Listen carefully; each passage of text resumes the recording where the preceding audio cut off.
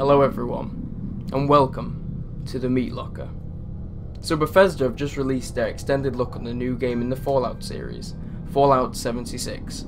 We got an extensive look at what creatures and areas we might see whilst travelling across the West Virginia wasteland. But today, we'll be going over the scariest creatures we might see in Fallout 76. So first on our list is the Flatwoods Monster. The Flatwoods Monster is a cryptid that has been sighted multiple times around the Frametown area of West Virginia.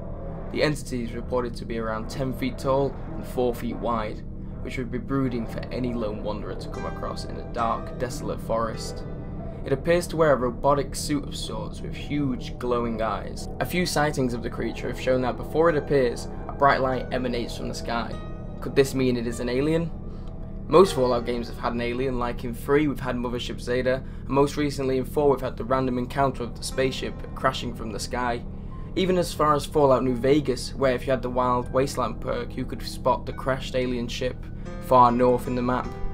As we see in the gameplay trailer at E3, we see a creature in a dark forest with big glowing eyes and a strange mist that envelops it around it. Could this be the Flatwoods monster, or something entirely different? You see, he looks a bit small to be the monster, but it could be like sat in a hole, or even crouched down. Or it could be Fallout's take on the Flatwoods monster. A hulking, headless, pale monster, nearly the size of some houses. What could it be? The Grafton monster is a huge creature that has been spotted multiple times by hunters around the Tygart Valley area of West Virginia. It's a gigantic, hairless, grey humanoid with arms disproportionate to the rest of its body. This one of many fans' creatures eagerly spotted. This is one of many creatures fans eagerly spotted in the Fallout 76 gameplay trailer at E3 as it emerged from a destroyed church in the background. A few hunters that have spotted it speculates it uses a low frequency whistle to help stalking its prey as it has no sight at all. There isn't much that can be said for the most well-known cryptid around the world. It stalks the town of Point Pleasant.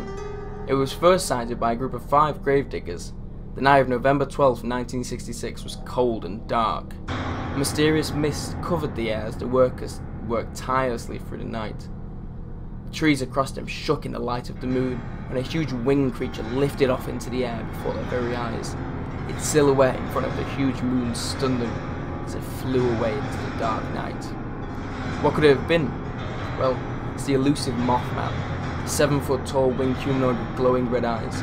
His wingspan around 15 foot long, allowing it to fly at speeds over 100 miles an hour. It is truly terrifying when you think of it. The lone wanderer could be crossing the bridge at Point Pleasant, West Virginia, when it swoops down before him, the red eyes contrasting in the dark night. We get a pretty good glimpse of it during the gameplay trailer as it hovers above the Vault Dweller in the pale mist and moonlight. Hopefully, we do get a great experience with the monster, as fans and I would love to be stalked by the creature across the game, then have an infamous showdown where we shoot it down from the sky. Along with the usual creatures of the wasteland, I'd love to see those urban legends make an appearance in Fallout 76. It's safe to say each individual encounter would be truly terrifying for anyone to come across. But what other urban legends would you like to see, or think will be in Fallout 76? Write them down in the comments below and we can all hide from them together. So thank you very much for watching guys, make sure you like and subscribe if you enjoyed the video, but now, you're inevitably trapped inside the meat locker.